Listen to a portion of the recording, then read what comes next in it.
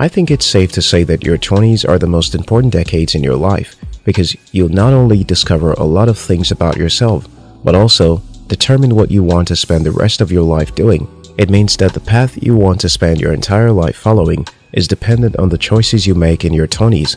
According to Candace Bushnell, an American author, journalist, happiness comes out of being willing to do your work in your 20s to find out who you are, what you love. Your goal should be to build a successful life for yourself early enough so that you can retire early enough, say in your 40s, and spend the rest of your life enjoying all that you've created for yourself. You don't want to spend most of your life working and earning until you're about 70 or even 80 years old because you refuse to make specific life decisions early enough. Kevin Ngo, a motivational speaker said, if you don't make time to work on creating the life you want, you're eventually going to be forced to spend a lot of time dealing with a life you don't want. Again, your 20s are vital, which is why you need to learn a few lessons that can help you make certain wise decisions to help you succeed in life. So in this video, I'll share with you 3 lessons you should learn in your 20s. If you're new here, consider subscribing so that you don't miss out on exciting videos like this.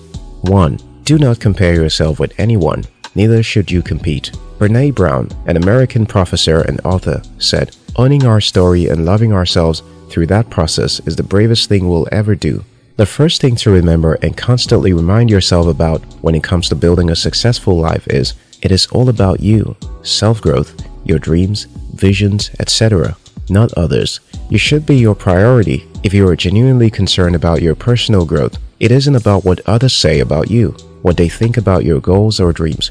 Neither is it about their journey or what they're doing with their lives. We all have our journeys and choices, so why compare yourself to them? You need to accept yourself, including your shortcomings and weaknesses. There is no perfect person anywhere in the world. The earlier you got this into your head, the better for you. Also, there's only one you. Every other person is different. They are not you. Neither are they trying to be you.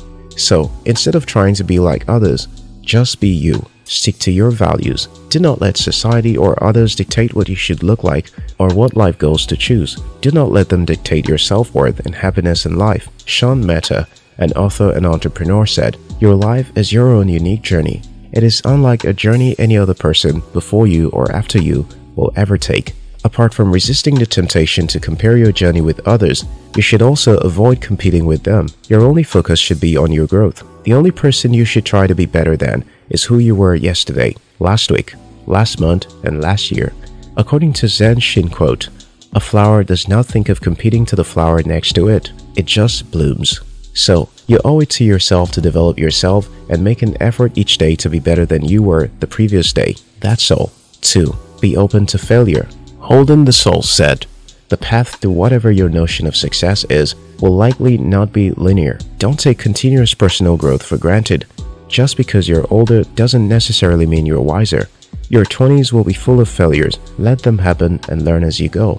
Most 20-something adults think that to be successful in life, you must have everything figured out. You ought to know what you want and go for it. Okay, while this is true to a large extent, they fail to realize or give themselves room to make mistakes, forgetting how they began the journey of their lives to that point. Yes, you should know the exact things that you want in life. Maybe not have the full picture just yet, but you should have life goals that will set the pace of your life. Once you've done that, you need a plan that can help you achieve those goals. However, your plan should be flexible enough to give room for failure, and also strategies to help you pick up from where you stopped. Here's the thing about giving yourself the chance to make mistakes. You'll learn what is important and what isn't. You will also be able to point out effective strategies as far as achieving your goals is concerned. When you know this, you can take the lessons you've learned to build any other goal and succeed effortlessly because, in the first place, you paid attention to the process, not just the final result. According to Ann Brashares, an American young adult novelist, I look back on my 20s it's supposed to be the prime of your life, the most vital, the most beautiful, but you're making your critical decisions and sometimes your most critical mistakes. So don't be too hard on yourself. Failure is a part of the process. 3. Learn how to build the right relationships. Oprah Winfrey, an American talk show host and one of the world's richest women said, Surround yourself with people who are only going to lift you higher. The kind of relationships we keep around is vital when it comes to the achievement of our goals. Okay, I know you've heard this over and over again, but I'm going to say it to you again. You are the average of 5 people you spend most of your time with. Jim Rohn I'll tell you why you need good people around you. You see, life isn't meant to be a solo trip. You need the help and support of others from time to time. You need motivation, and you need ideas and people that can also help you execute them. You need feedback and constructive criticism. For any of this to happen, you need people that you can rely on and trust. Building the right relationships will also help you develop yourself. Imagine you have a group of friends that all have goals and plans to help them achieve their goals. So every time you all hang out, you talk about some ideas that you think might work. They also talk about some of the things that they have been up to, including some of the ways or measures they've been taking to achieve their goals. At the end of each conversation, you will always feel motivated and inspired to keep pushing, especially when things get challenging. On the other hand, if you have a group of friends that do nothing else but talk about trending gist, latest devices, and how they can't wait to get one so that they can show it off, etc., then you just might never achieve your goals. You need to be around people that remind you and inspire you to keep at your dreams because they're equally doing so. Also, it'll help to have a network of influential friends to help you make some big businesses or career moves.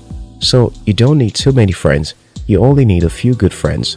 Note, networking or building relationships with people who are valuable and have so much to offer cannot be one-sided. Value has to be offered from both ends. Otherwise, it won't take long to destroy the relationship.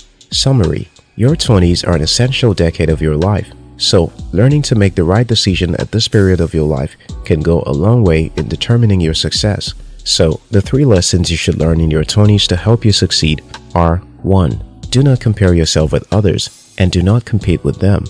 2. Be open-minded to failure. We learn better by making mistakes. 3. Build the right relationships. You are the average of the 5 people close to you. Thank you very much for watching our videos. If you like this video, watch more videos on our channel and subscribe. We love you.